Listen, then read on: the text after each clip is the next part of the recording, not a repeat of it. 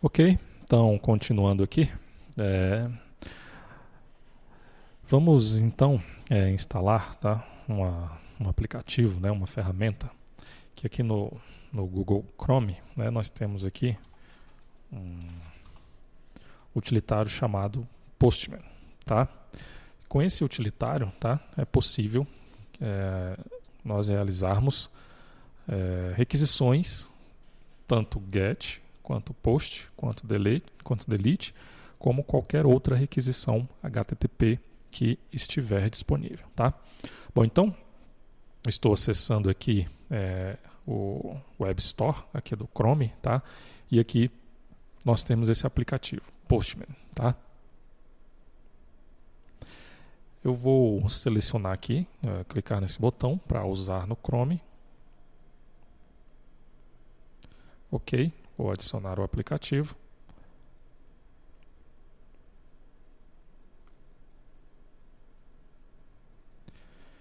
Se você achar mais interessante, você também pode instalar, né, no caso, a aplicação é, nativa do sistema operacional. Tá? Também está disponível. Se nós voltarmos aqui ó,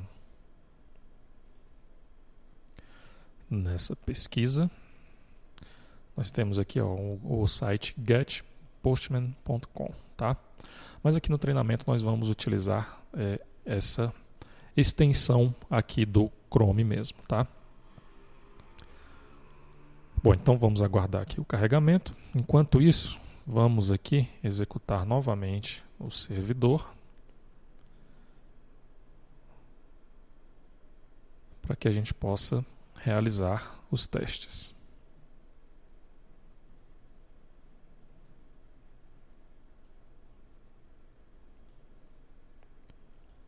Ok. Aqui.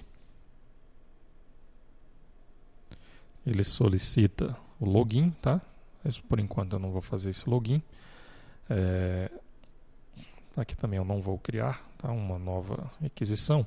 É, então o que, é que nós vamos fazer aqui? Ó? Aqui nós temos é, os possíveis métodos HTTPs. Tá? Então temos aqui o GET, POST, PUT, PET, delete, copy, temos vários aqui, ok? O que nós vamos usar vai ser só o get, o post e o delete, tá? Então vamos já fazer um teste aqui. O endereço HTTP, dois pontos, barra, barra, localhost, dois pontos, 80, 80, tá?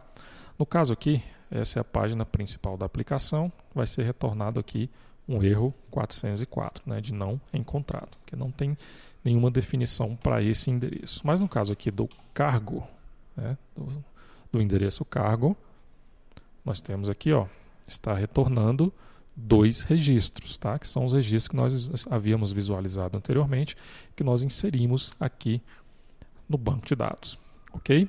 Da mesma forma que se eu colocar um parâmetro, né, no caso aqui o ID do cargo, ele vai retornar somente o cargo cujo ID seja o definido neste parâmetro, tá? Ok, então aqui o mesmo teste que nós fizemos lá no navegador, tá?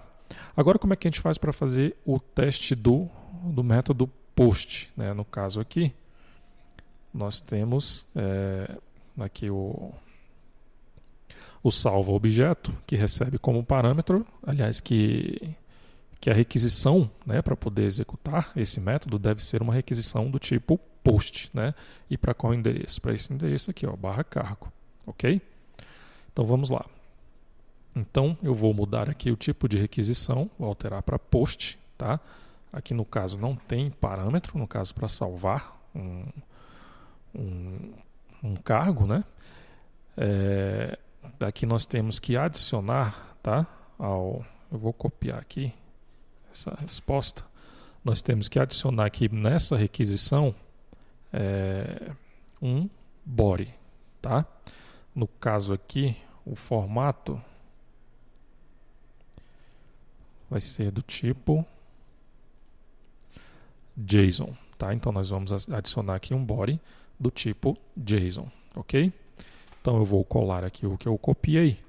E aqui nós temos o cargo cujo ID é igual a 2, tá? Então vamos aqui fazer uma alteração. vou definir aqui como cargo teste, ok? Então vamos enviar essa requisição, ok? Temos aqui o status dessa requisição como 200, ok? Então o servidor recebeu essa requisição sem problemas, tá? E executou o, o procedimento, tá? E nos retornou aqui, ó, nós podemos perceber que ele retorna, né, no caso, o, o cargo que foi alterado, tá? No caso aqui, ele retorna o próprio objeto que foi alterado, já que nós estamos, é que esse cargo já existe lá no banco de dados, tá? E se nós analisarmos aqui no banco de dados, eu tenho aqui o cargo 2, eu vou atualizar aqui agora, nós temos aqui agora o cargo teste, ok? Agora vamos fazer essa mesma requisição, né, essa requisição post, só que sem informar aqui o ID do cargo, ok? Então vamos enviar novamente, ok? temos aqui um status 200 né, da resposta do servidor e agora ó, eles no, o servidor retornou o cargo, só que com o ID 3. Tá? Então significa que foi inserido um novo cargo. Tá? No caso aqui, esse cargo, nós mudamos, a, é, foi mudado ali apenas o ID do anterior, né? e é, como nós não informamos o ID, e aqui no banco de dados o ID ele é auto-incremento, tá? então o servidor já nos retornou esse objeto já com o ID que foi gerado para ele no banco de dados. Ok? E da mesma forma, agora nós podemos testar o método delete. Tá? Só que aqui no caso do método delete, nós não temos esse conteúdo aqui no body da requisição, tá?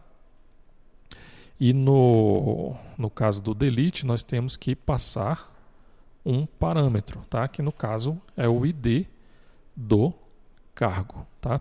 Então aqui ó, vamos passar como parâmetro o ID3. Vamos voltar aqui no Postman e enviar essa requisição. Tá? No caso aqui é uma requisição delete. Tá? O status aqui da resposta foi um status 200, ok. Tá? Status 200 significa que ocorreu tudo bem.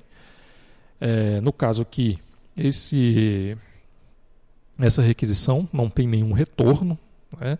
então a única coisa que deve ser avaliado é aqui o status que foi retornado pelo servidor. Então, se retornou um status 200, significa que o registro foi excluído. Tá? Então, se nós voltarmos aqui no banco de dados, eu vou atualizar aqui agora. Então, o cargo cujo ID é igual a 3 foi excluído. Ok? Então, as, é, esses métodos aqui estão funcionando sem problema. Tá?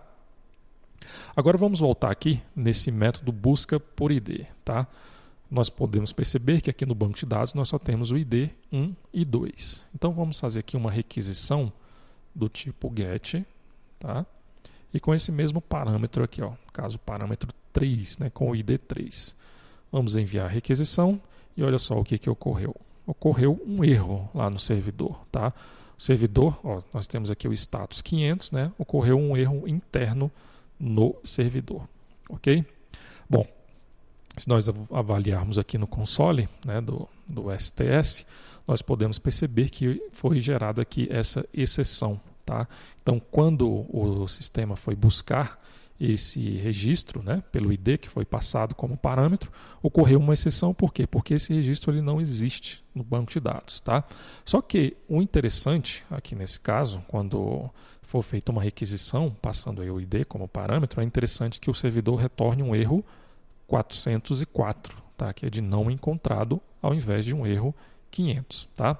Então vamos realizar essa alteração para que quando ocorrer esse erro, seja retornado então o erro 404, tá? Bom, é, vamos é, criar aqui então um outro pacote, tá? Então vou aqui novo, package. Nesse caso aqui eu vou chamar esse pacote de exception, tá? Finalizar. E vamos agora criar uma nova classe. Essa classe aqui nós vamos chamar de recurso não encontrado exception, tá? E ela vai herdar, aqui no caso, de é, runtime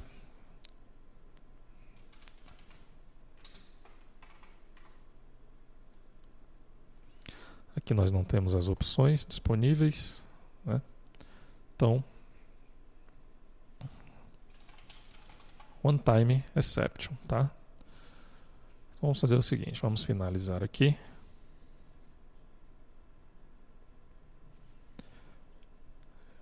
E aqui vamos Na verdade, lá na criação, provavelmente eu escolhi foi a interface, tá? Por isso que não apareceu. Provavelmente foi isso, tá? Então vamos aqui, runtime exception. Vamos aguardar aqui o autocomplemento. Ok, agora sim. Nós temos aqui o runtime exception. E aqui eu vou criar é, um construtor, tá? Que recebe como parâmetro uma string, que vai ser a mensagem enviada para é, o método que realizou essa, essa requisição, ok?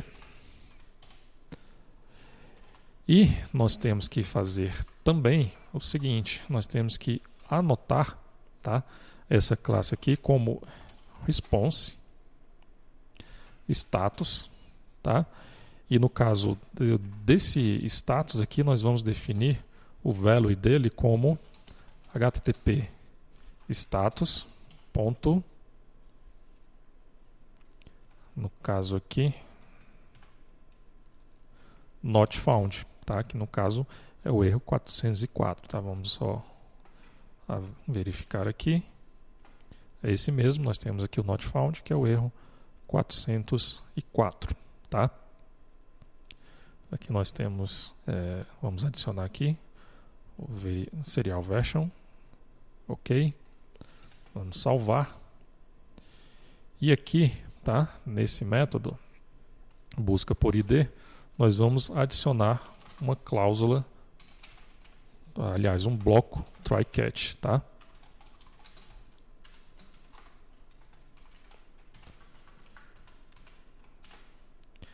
Na verdade, nós, vamos, nós não vamos tratar aqui o exception, né? nós vamos tratar aqui ó, essa exceção tá? que foi gerada quando não foi encontrado aqui um determinado registro.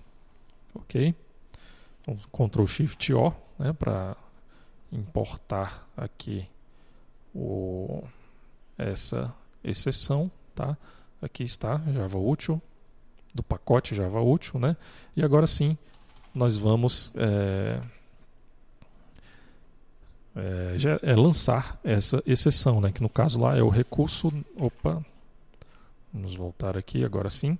Recurso não encontrado exception, passando como, é, como, como mensagem né? o seguinte: ó, registro. Opa, não localizado. Tá? Então, vamos salvar. Ok. Vamos executar aqui a aplicação novamente.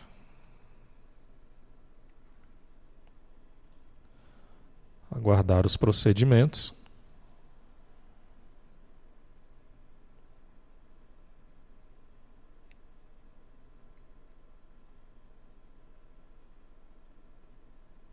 Ok, foi iniciado. Então vamos voltar aqui no Postman, tá? Vamos só aqui, voltar aqui no STS. Vamos limpar aqui o console. E aqui no Postman vamos fazer aqui a mesma requisição, tá? No caso lá nós não temos o cargo cujo ID é igual a 3. Então vamos fazer essa requisição aqui novamente. E agora, ó, ao invés lá do status 500, né, que no caso de um erro que tinha ocorrido um erro interno no servidor, retornou aqui um 404 não encontrado. Tá? Então, agora nós estamos retornando é, o erro de forma adequada. Tá? E aqui no, no console do, do, do STS, né, nós não vemos aqui mais a, a exceção né, que estava sendo gerada. Ok? Bom, então é isso. É, nos próximos vídeos, então, nós continuaremos aí com a implementação do projeto.